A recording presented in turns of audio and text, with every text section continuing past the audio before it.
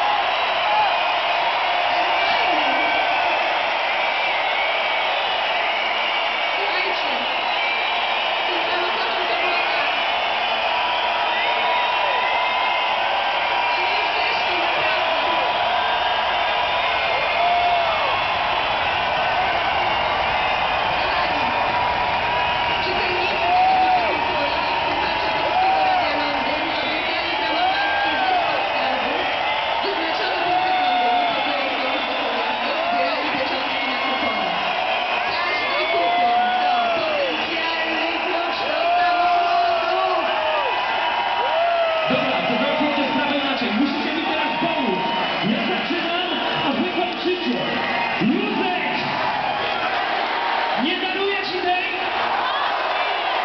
No, to już wiecie, kto za chwilę się tu pojawi i da takiego ognia, że oszalejecie.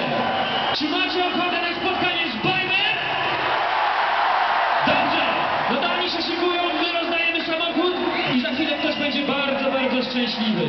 A teraz pozwólcie, żeby aksamitny głos Moniki popłynął w eter.